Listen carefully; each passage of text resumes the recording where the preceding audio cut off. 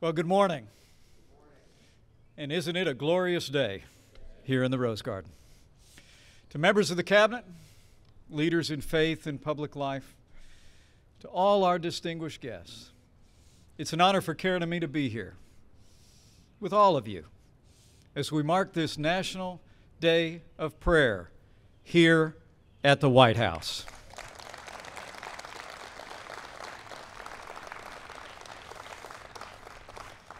The Bible tells us to persevere in prayer, that the prayer of the upright pleases Him, and that in everything. By prayer and petition with thanksgiving, we're to present our requests to God. And the American people do this every day. You know, the sweetest words the President and I ever hear are the words, I'm praying for you. And we hear it a lot. But that's really nothing new. The American people believe in prayer, always have. Prayer is the cord that runs through every era of America's history. In 1775, the Second Continental Congress established a day of fasting and prayer. In 1863, President Abraham Lincoln urged Americans to pray so that, in his words, the united cry of the nation will be heard on high and answered with blessing. And in 1952, President Harry Truman and the Congress formally established this National Day of Prayer, a time set aside each year for the American people to turn to God in prayer and meditation. To celebrate this day, last year, President Trump gathered faith leaders across what he would call this nation of faith, including many of you here today. And in that moment, he took decisive action to ensure, in his words, that the federal government will never, ever penalize any person for their religious beliefs again.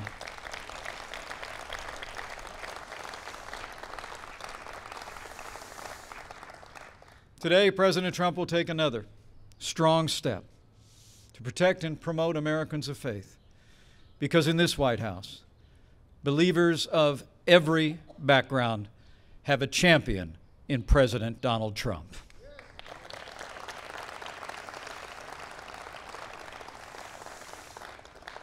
But in these too divided times, what we'll most importantly do today is to pause and to pray. In gatherings large and small all across this nation, Americans will bow the head and bend the knee and pray for this great country. And when we pray, we'll pray with confidence. Confidence in the great people of this nation, confidence in our values, and confidence that just as He has always done through the long and storied history of this nation, he will once again hear from heaven and heal this land, this one nation, under God, indivisible, with liberty and justice for all.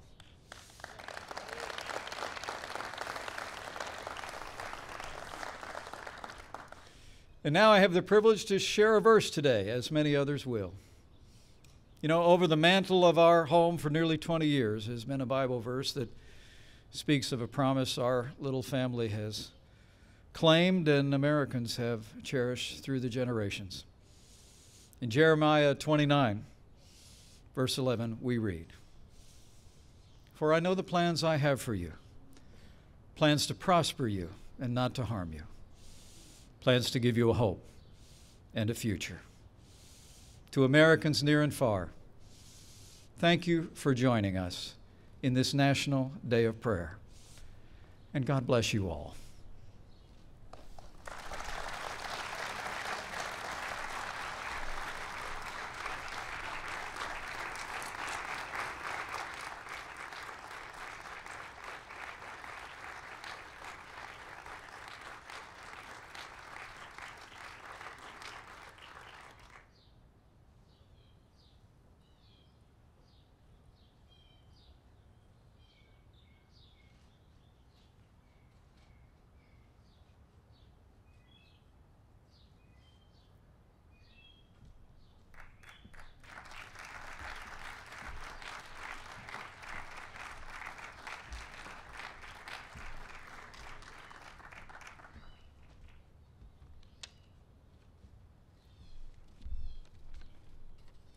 Let us pray.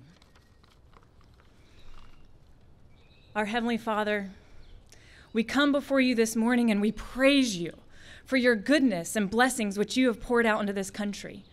We know it is far more than we deserve.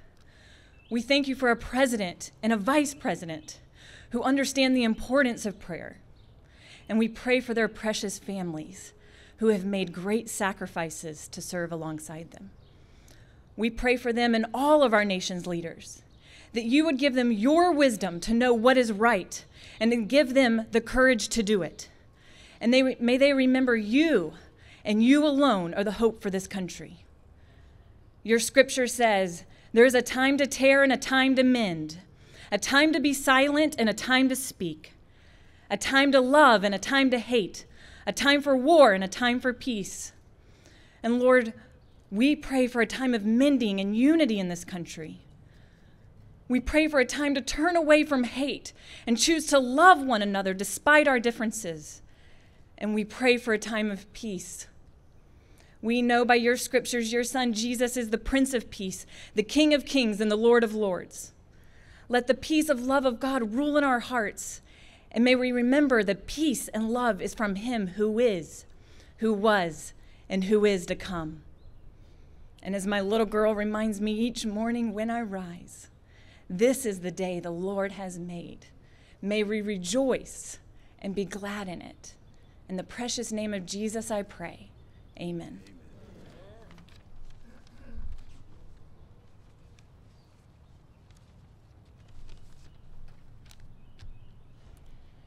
Namaste.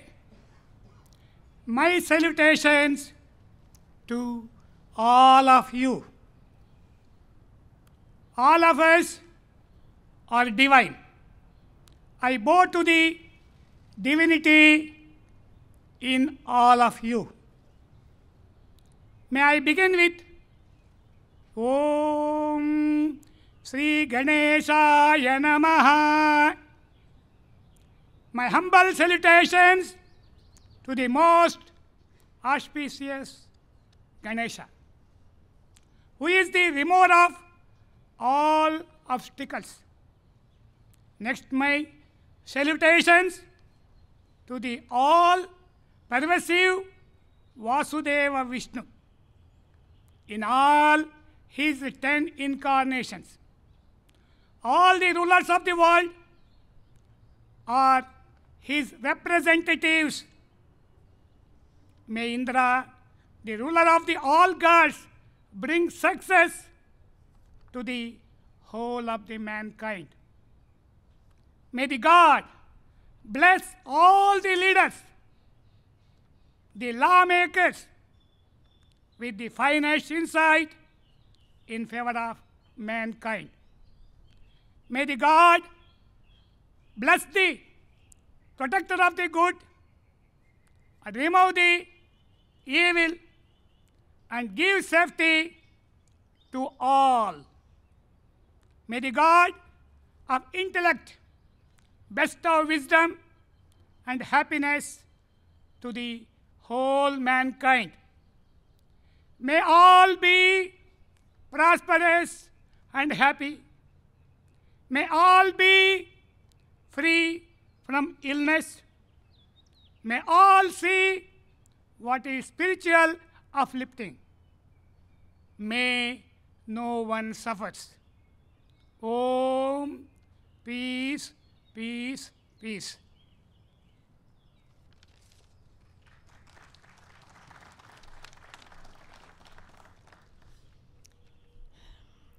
Our loving, gracious, and perfect Father in heaven, we approach thee in gratitude for the many blessings received at thy hands. On this National Day of Prayer, we unite to acknowledge that all good gifts come from thee. This nation has been given relative peace and prosperity, and we humbly ask thee to watch over those who are in harm's way, protecting our freedoms in the pursuit of happiness. Bless those who lead this great nation with the empathy, insights, and inspiration they need as they counsel together and sincerely strive to work in harmony. Help us in our quest that we may be joined together in the same mind and in the same judgment. May each exercise integrity, humility, and nobility of character in his or her sphere of influence. Heavenly Father, many are in need, and we pray for all who are working unselfishly to improve lives. May we become a land of good Samaritans, laboring in love to lift the hands of the downtrodden, the oppressed, and the afflicted. Knit our hearts together in unity and in love, one towards another. Please strengthen homes and families which provide loving guidance in building capable and compassionate citizens. We also recognize the need to improve, Father. Help us to find ways to understand and value one another to work together in cooperation and selflessness rather than seek for personal gain, to satisfy vain ambitions, or to gratify pride. May we examine ourselves and become better individuals, thereby increasing the peace and happiness of each citizen in this United States of America. Dear Father, we thank Thee for every blessing and humbly ask for Thy help as well as for Thy continued care and keeping. In the sacred name of thy beloved Son, Jesus Christ. Amen.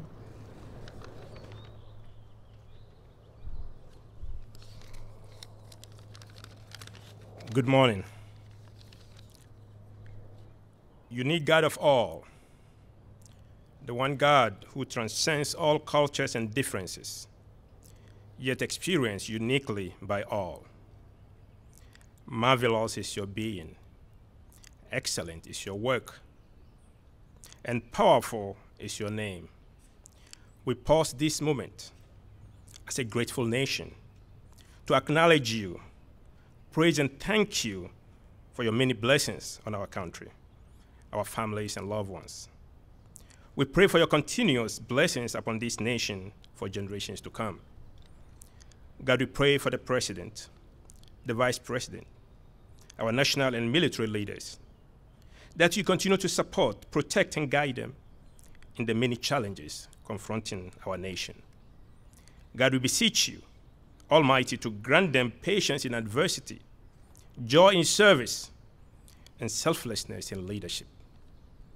Finally, God, we pray for our soldiers, our sailors, our Marines, our Coast Guardsmen, our police, who are serving in harm's way, and those who have made the ultimate sacrifice serving the cause of a grateful nation. God, we lift up their families to you for your blessings and grace. All of this I pray in your precious name. Amen.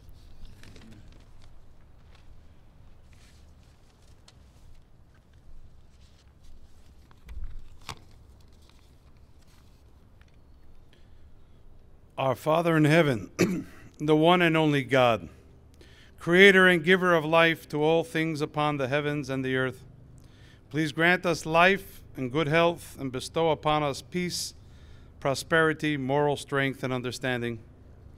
Bless the President and the First Lady, the Vice President and Mrs. Pence, the administration, and all the nation's leaders, that they may lead us in a way which will please you and fulfill your will, and earn us continued blessing upon our great nation as the words of the Almighty to King Solomon in Chronicles 2.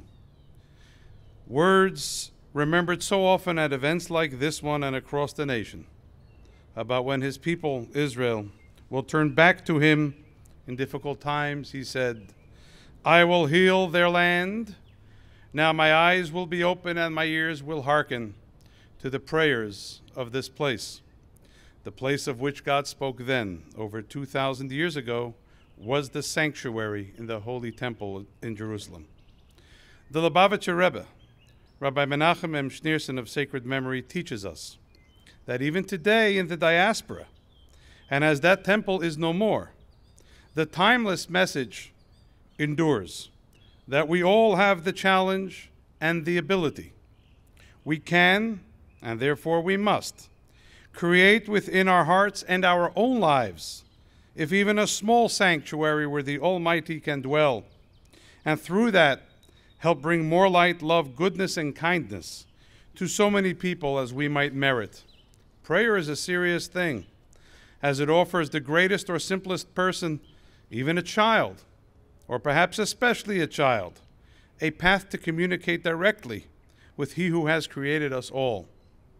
It also reminds us as a nation that faith in our Creator and His guidelines, which illuminate our path in life, are the glue which ultimately holds us all together as a just society.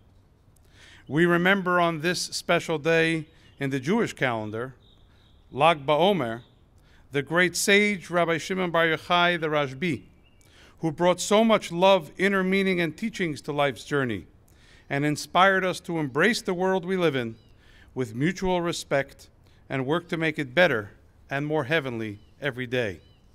So on this day, dear God, as we turn to you in prayer, please countenance the sanctuary we build in our lives as we serve only you, and with your kind open eyes and ears which hearken to the prayers of the place we are, please do heal this land, our land. Let us see and share with humility the great sparkle of our nation, which is called by your name, as with liberty and justice for all we are, indeed, one nation, under you, God, indivisible. And so we need your help and guidance today and every day, as we must navigate forward together in the choppy waters of our world and our times. Let us merit very soon the day for which we have been praying for so long, when we'll, you will finally bring understanding, healing, peace, and redemption for all of mankind with the arrival of Mashiach, our righteous Messiah. As a Jew, so mindful of my forebears and their tribulations, I am deeply grateful to the President for this invitation and for the opportunity this gives me to publicly offer this prayer freely from my heart and according to my own faith. God bless America and all those who agree, bearing in mind, of course, the men and women serving in our military, stateside and abroad at the tip of the spear. Let us bless them all, pray for them, and all who agree, please say, Amen.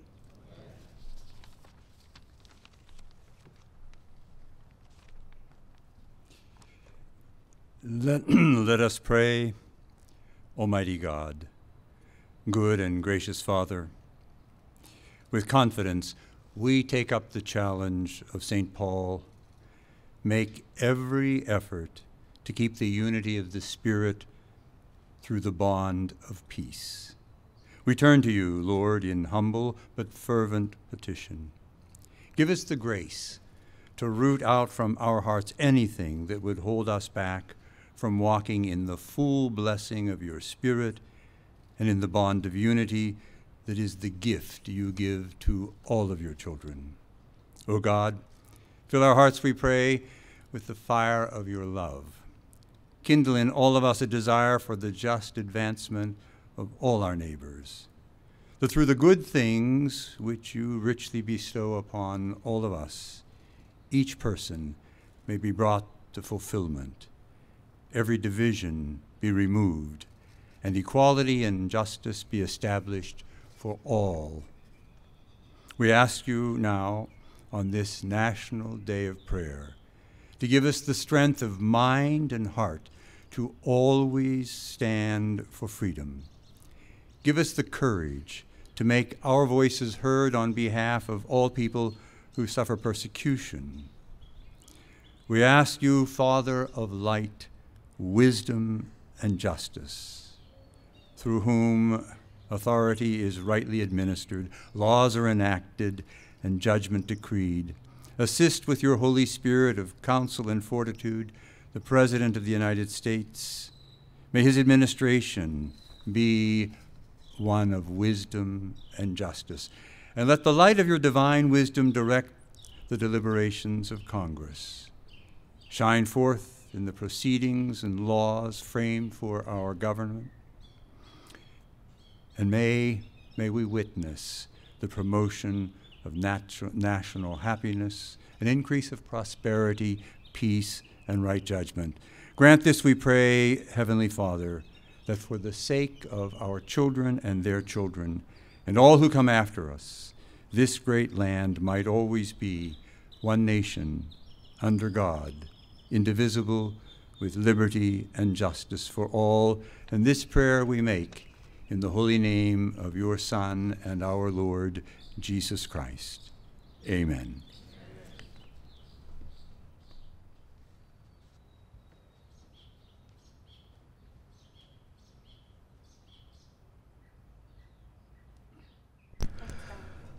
Ladies and gentlemen, the President of the United States.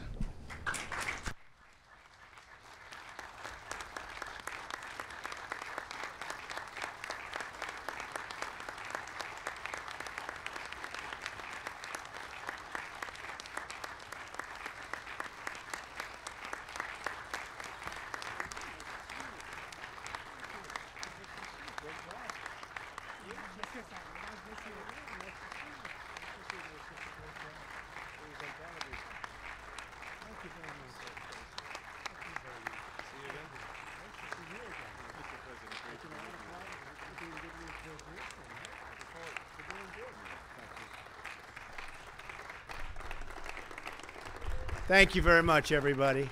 Thank you. Please, thank you very much. What a day, what a beautiful day, and our country is doing very well. You'll see some very good announcements very shortly. It's wonderful to be here on this glorious spring morning as we celebrate the National Day of Prayer at the White House in the Rose Garden.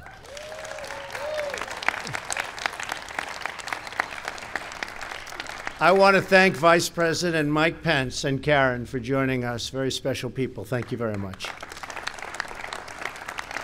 We are truly blessed to have a Vice President and a Second Lady who believe in the power of prayer and the glory of God. And they do believe. I'm with them a lot. They believe. Good. Thank you, Mike. Thanks also to the members of the Cabinet who have joined us today, along with so many amazing faith leaders from across the country, including my good friend Paula White, who's done such an incredible job. Paula, Paula, stand, Paula. Thank you, Paula. And the president of the National Day of Prayer, Dr. Ronnie Floyd. Thank you. Thank you, Doctor. Thank you. Thanks, Ronnie. I especially want to recognize Sissy Graham. And I will now add that word Lynch because I always call her for uh, Sissy Graham, but it's really Sissy Graham Lynch. You like it that way better, right? Don't you think we? I like it that way too. I like it that way because you're married to a great gentleman, a fantastic man. So, Sissy, thank you very much for being here. We appreciate it very much. Priest Narayanachar, Sister Bingham, Chaplain Agbera, Rabbi Shemtov, Cardinal Wuerl, and the Hope Christian Church Choir. I heard you, by the way, right inside the Oval Office. That was beautiful. That was great music. Thank you. Thank you very much. As we gather this morning, our thoughts also turn to the memory of a man who awakened the light of God in the hearts of millions of America's pastors, and that's the great, legendary, wonderful Billy Graham. Great, great man. Great. So, Sissy, I want to thank you for carrying on your grandfather's incredible, towering legacy. Today, we remember the words of Reverend Graham prayer is the key that opens us the treasures of God's mercies and blessings. Always beautiful. And when he said it, it meant so much. When I say it means something, but I liked when he said it better. Right? I think he did that a little better than I do. Reverend Graham's words remind us that prayer has always been at the center of American life because America is a nation of believers. Right? So true. The prayers of religious believers helped gain our independence, and the prayers of religious leaders like the Reverend Martin Luther King, great man, helped win the long struggle for civil rights. Faith has shaped our families and it shaped our communities. It's inspired our commitment to charity and our defense of liberty. and faith has forged the identity and the destiny of this great nation that we all love.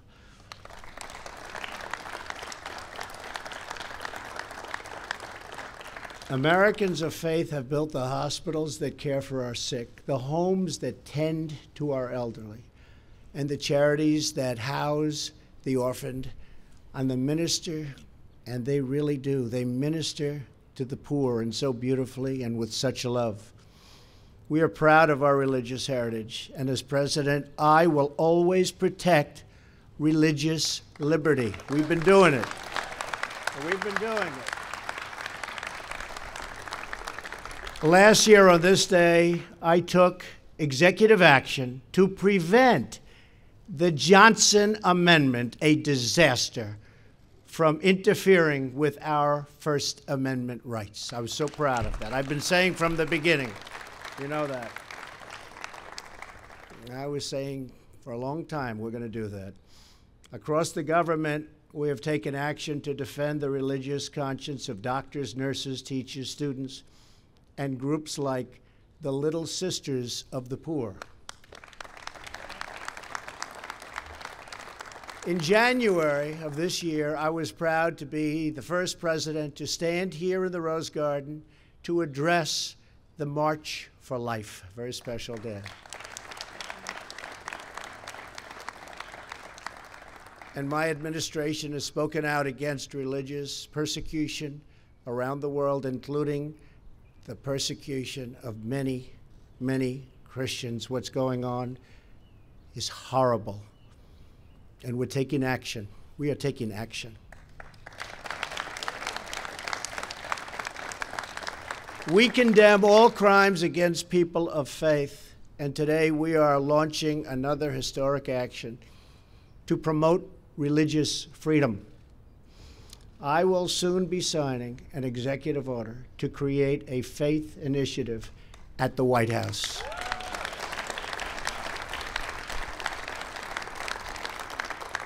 The faith, thank you very much. The Faith Initiative will help design new policies that recognize the vital role of faith in our families, our communities, and our great country. This office will also help ensure that faith based organizations have equal access to government funding and the equal right to exercise their deeply held beliefs. We take this step because we know that in solving the many, many problems and our great challenges, faith is more powerful than government, and nothing is more powerful than God.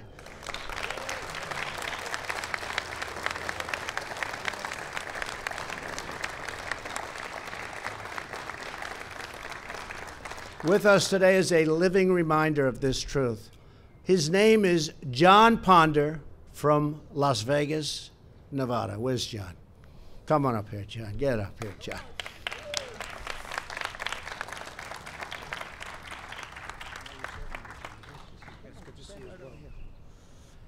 John grew up without his father. As he tells it, my mother was strong, but she wasn't able to keep us out of the gangs and off the streets, right? John was in and out of jail for years until at age 38, he was arrested for bank robbery. You don't look like a bank robber, John. it's come a long way. John soon ended up in federal prison, relegated to solitary confinement. That's where God found him. John began to read the Bible and listen to Christian radio. Right? Yeah, so, so incredible. Incredible. One morning at 2 a.m., he woke up to the voice of the great Billy Graham.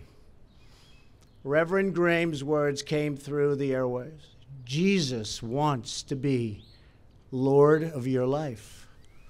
That night, John dedicated his life to Christ.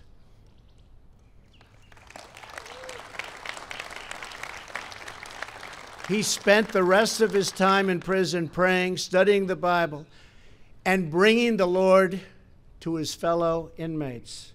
The day after John's release, a visitor knocked on his door.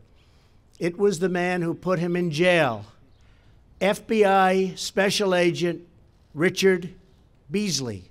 Who's here? Richard? Come on up, Richard.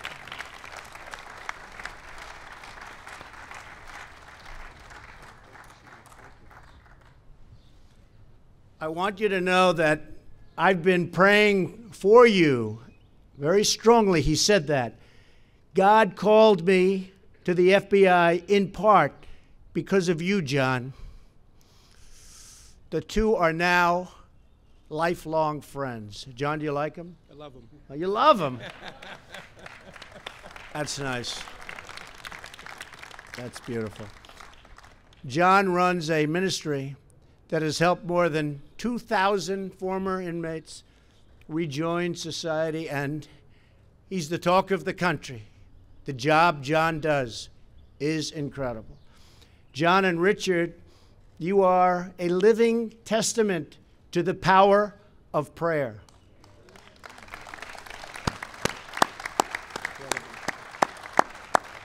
Your story reminds us that prayer changes hearts and transforms lives.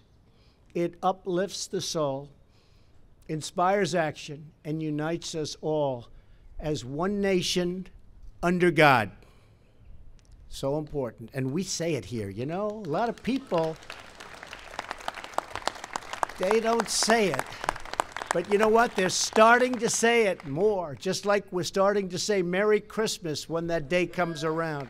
You notice the big difference between now and two or three years ago? It was, Paula, it was going in the other direction rapidly, right? Now it's straight up.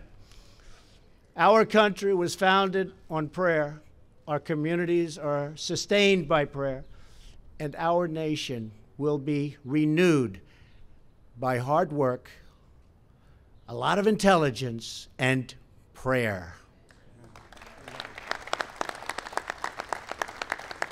Today we gather to remember this truth. We thank God for the faith of our people. We praise God for the blessings of freedom. And we ask God to forever bless this magnificent land that we all love so much America. Thank you. God bless you. And God bless the United States. Thank you, everybody. Thank you very much. Thank you, John. Thank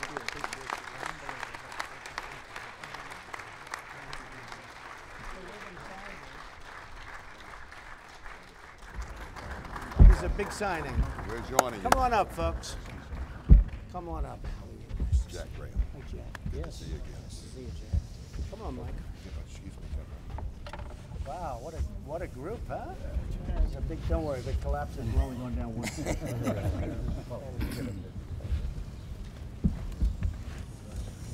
That's great. This is a good one. Couldn't we get some more people? Hi, everybody. Come on up. This is history. This is history. Come on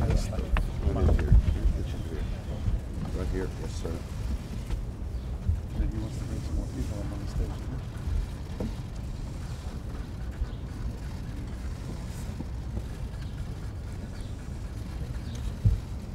That's fantastic. Yeah. We're going to give you all. Thank you.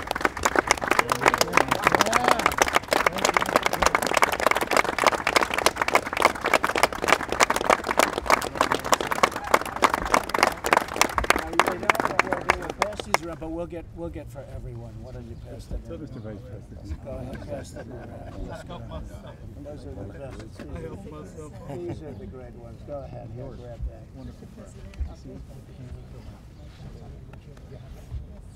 So you'll spread them around.